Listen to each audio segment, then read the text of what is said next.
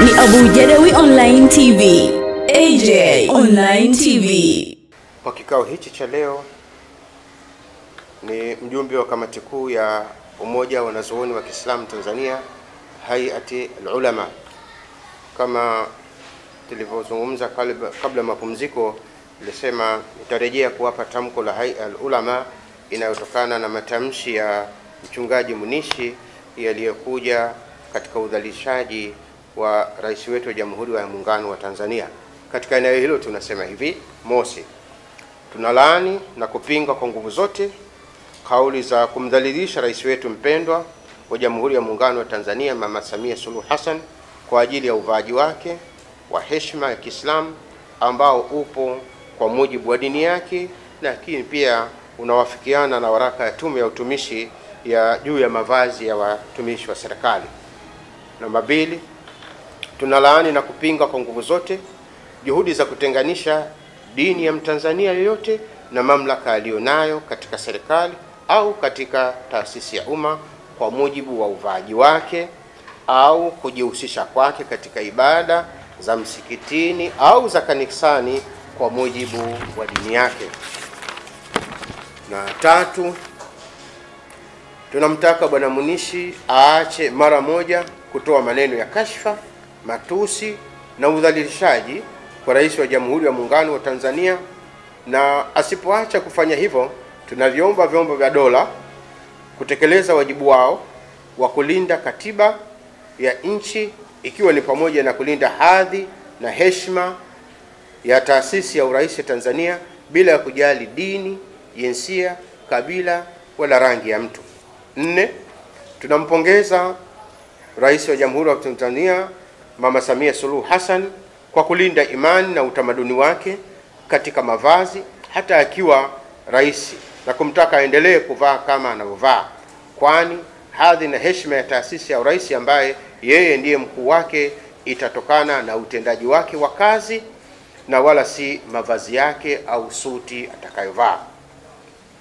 Rais Samia Suluhu Hassan ni rais wa Watanzania wote, lakini pia ni rais mwenye dini ya Uislamu kama ilivyokuwa kwa baba wa taifa Mwalimu Julius Kambarage Nyerere alikuwa Mkristo, Rais Ali Hassan Mwinyi alikuwa Muislamu, Rais Benjamin William Mkapa alikuwa Mkristo, Rais Jakaya Mrisho Kikwete alikuwa Muislamu, Rais John Joseph Pombe Magufuli alikuwa Mkristo, na sasa Rais Samia Hassan Suluhu ni Muislamu mwenye dini ya Uislamu, tena mwanamke Mswahili kutoka visiwa vya Karafuu, Zanzibar. Hii ndiyo katika utamaduni wa nchi yetu ya Tanzania. Rais anaweza kutoka upande wote wa Jamhuri ya Muungano wa Tanzania na anaweza kuwa wa jinsia yoyote kama ilivyothibitika kwa sasa. Chuki za namna hii hazipasi kupewa nafasi zikakomaa katika nchi yetu. Tunavyomba vyombo vya dola kutopuuza maneno haya, kwa sababu moto huanza na cheche ndogo. Tunawaasa Watanzania na kuweka kwa, kwa kuweka mbele utaifa wao na kushikamana kwa misingi ya imani na haki na uadilifu ili kuendeleza utangamano wa kipekee wa taifa letu barani Afrika. Mwenyezi Mungu anatuambia, enyi watu, hakika mimi nimekuumbeni kutokana na mwanamume mmoja ambaye ni Adam na mwanamke mmoja ambaye ni Hawa, na nikakufanyeni mataifa na makabila mbalimbali ili mpate kujuana.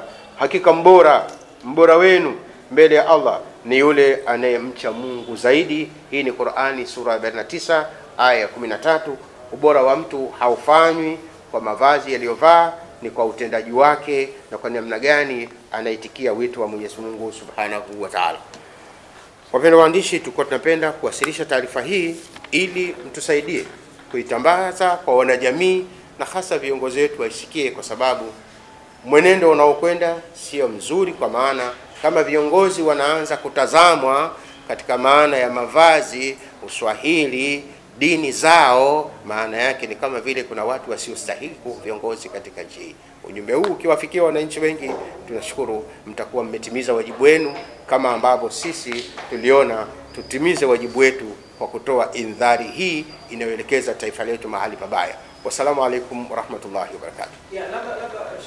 Kuja ni kwa sababu moja kubwa, mitandao ya kijamii ambayo nyinyi wanahabari ndio kazi yenu hasa, imeenea huko ndani Bwana Faustin Munishi akieneza kwenye mitandao ya kijamii kwamba Rais Samia Suluhu anaidhalilisha Tanzania, anadhalilisha taasisi ya urais kwa sababu anavaa mavazi kama mwanamke Mswahili anachoma vitumbua mtaani, anavaa mavazi ya Kiislamu. Sasa haya mambo sio mazuri. Kwanza, hata kama isingelikuwa vazi la Kiislamu, Mheshimiwa Rais kumdhalilisha kwa aina hiyo ni upuuzi na ni jambo la kukemewa kwa nguvu zote, lakini pia amelihusisha na dini yake. Ni kwa nini jambo linapofanywa na mtu linahusishwa na dini yake? Hii imekuwa ni trendi inajitokeza, yako makosa mengi yanafanywa, watu wakifanywa wasipokuwa Waislamu linabaki kosa la mtendaji. Akiwa Mwislamu inahusishwa na dini yake. Tunaona mipaka hii inakwenda mbali, inakwenda mpaka rais wa Jamhuri ya Muungano wa Tanzania. Tunafikiri serikali ikiliacha jambo hili, wasemi mashekhe, sisi tutasema na wasia wakasema, siku moja tunachukua hatua mkononi au tunachukua sheria mkononi, tunayasema haya ili wenye mamlaka wafanye kazi sawasawa, kurejesha nidhamu ya Watanzania ibaki kumheshimu kila Mtanzania kwa namna alivyo. Hata dini ya Kiislamu ndani ya Uislamu inasema la ikraha fi dini, halazimishi mtu chochote katika dini. Hata hao Waislamu wenyewe, asiyetaka kuvaa hijabu bado hajalazimishi. Huu ni uhuru kwa dini, ni uhuru kwa mujibu wa katiba. Sasa tumeomba mambo haya yalindwe kwa sababu ni mambo ya kisheria. Allah Saleh Ramadhani Ndauga e, ambaye ni mwenyekiti wa umoja wa wanazuoni wa Kiislamu Tanzania Hayatul Ulama. E, katika swala zima hili la tamko hili tulilolitoa e, kwa niaba ya wanazuoni na pia kwa niaba ya, ya, ya wananchi kwa ujumla ambao wanaopenda amani na haki ni kwamba kuna mambo mengi sana ambayo tumeyazingatia e, katika kulitoa tangazo hili na tumezingatia kulinganisha na huyo mtu ambaye aliosambaza katika e, katika mitandao ya kijamii umunishi kama jinsi mlivyosikia na kama jinsi mlivyoona. E, ni kwamba kuna mambo kama manne matano. La, kwa haraka haraka nitaje kwamba jambo la kwanza kabisa kuna udhalili wa wazi, udhalilishaji wa wazi wa kumdhalilisha mheshimiwa mtukufu rais wetu Mama Samia Suluhu Hassan na vile vile kuna e, udhalilishaji wa wazi kabisa na dharau katika taasisi ya uraisi katika taasisi ya uraisi kwa ujumla, kwamba hawaelewi na hawajui namna gani ya kumwelekeza e, mheshimiwa rais katika mavazi. Lakini tatu, vile vile kuna swala zima la, la, la, la kuhadaa na kudanganya kudanganya umma kwamba e, dhamira ya rais ni kuendesha e, urais wake Tanzania Kiislamu wakati si, si kweli. Na jingine tena ambalo ni jambo baya zaidi ni swala la kudhalilisha utamaduni, kuonekana kwamba utamaduni huu wa Mswahili kwamba ni utamaduni ambao eh, haufai na ni wa kishenzi, halafu na vile vile kadhalilisha dini ya Kiislamu kwa maana jinsi mlivyosikia, na jambo lingine tena kawadhalilisha wale ambao ni wajasiriamali, kina mama wapika vitumbua, kwamba wao ni dhalili na ni dhaifu, watu ambao hawapaswi ku, e, kutajwa katika jamii. Kwa hiyo mambo matano hayo ukiangalia yamegusa pande nyingi na yamemgusa kila mtu binafsi, taasisi na makundi fulani fulani. Hii ndio msukumo ambayo umetukera na haupendezi, na kama utaachiliwa namna hii kwa watu wa mfano huu, maana yake tunakwenda kuitangazia Tanzania kuipeleka mahali ambapo hapastahiki na bila sababu ya msingi. Ndio maana tukaona sisi lazima tuzungumze na tuiombe nchi yetu, viongozi wetu wakuu wetu waweze kulishughulikia jambo kama hili na mfano wake kwa watu wa mfano huu.